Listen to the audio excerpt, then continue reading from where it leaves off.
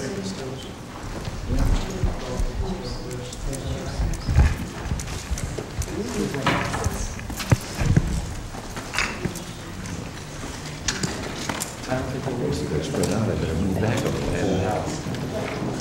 don't.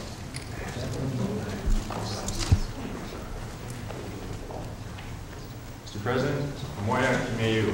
Well, Mr. Mayo, Fine, fine, fine. well, Nice to meet you. Thank you nice to meet you. Thank you. And I understand it is my pleasure and privilege to give a little citation to you and present this award on behalf of the National Geographic Society. Sure. I'd like to present the John Oliver La Gorce Medal, Medal to Mr.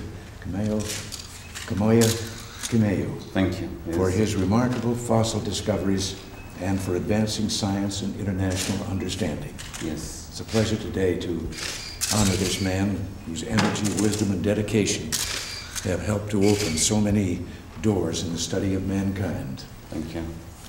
And here is the medal. Very pleased to do this. Thank you very much, sir. Many, many thanks for spending your time to come for this. Well, I'm very honored to do it. Thank you. Okay. Thanks to one of the people over there, I have had a copy of the magazine, uh, Yes. the National Geographic, in which uh, Yes. your most recent deeds were all outlined, and I read it with great fascination.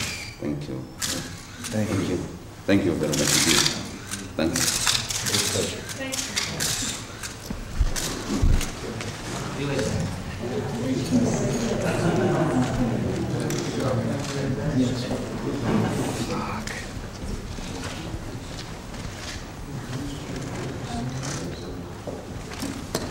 Well, You know, Gil President, you're Thank you, sir, for doing this. It's Well, You're the listen. sixth Remember American Richard president. Swift? I sure do. How nice to see you. Delighted. Thank you. Well, how about Richard's Great honor for wife? him. I asked the question again that I asked at lunch that day. With these people here?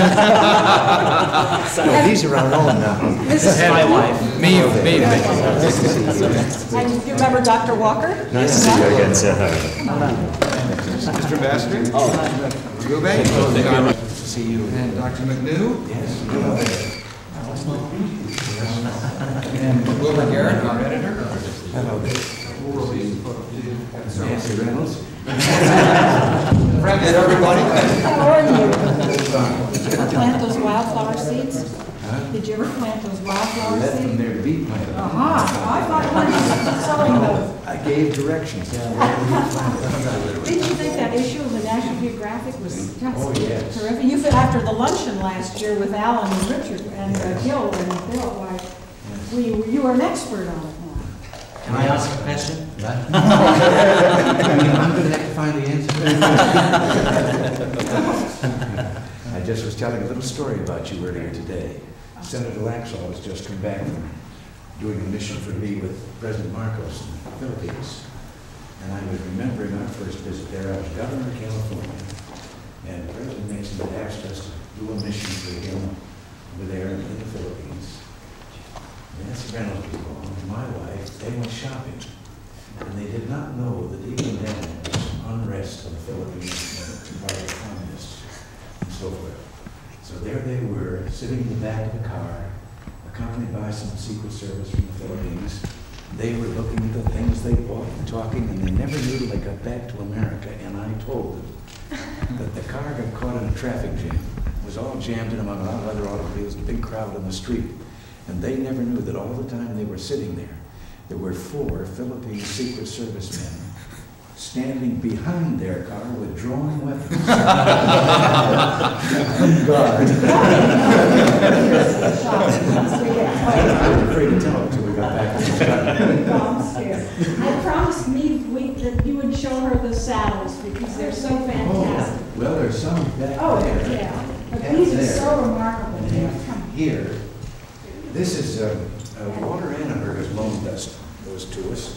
This artist in bronze, starting with about a, a 1504 Spanish saddle, has done in bronze the history of the development of the Western saddle, the American Western saddle. And these are all the various ones with the era and so forth and what they were uh, what they were used for and named as they uh, evolved. And I've been very, the only thing. I- Wonderful job. The only thing I'm really gonna hate about leaving here is that uh, I'll have to give them back to Walter. Short and beautiful. Yeah, superb. Yes. As a matter of fact, I, I know that much more recently in the history, down in the border, cattle in Europe, you know, were, were herded with whips. And the lariat was an American invention, where we didn't have fences over here out on the, on the plains. They just, they ran, you had to round them up. And the saddle that was customarily used was a Spanish war saddle in which, uh, kind of Moroccan really, in which there was a big knob like that in the front of the saddle. Well, the first few times that a fellow lassoed a steer and then found himself leaving the saddle head first, they with their knives cut a notch around that big knob. And that's what made the horn that they could then, that then snub the rope Yeah. around the saddle. years ago, about six weeks. That does goes back far in history. I was fascinated with that. Thank you, sir. Thank You're you. the sixth American president, the most important, to give this medal. Very good, since 1909. Well, I'm honored to do that. And again, congratulations. Thank you, sir. Thank you for very all much. you've done. Thanks. Good to see you all. I hope you still come to Kenya one day. I'm in Washington. You won't throw one of those elephant things at me. You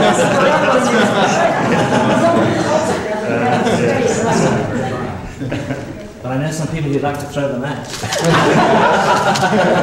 I'll send you a supply You got for Friday. If you got anything that you're throwing away. Allison, he'll pick you up someday. Bye. Thanks again. Thanks again. Thank you again, sir. Thanks, sir. Thank you.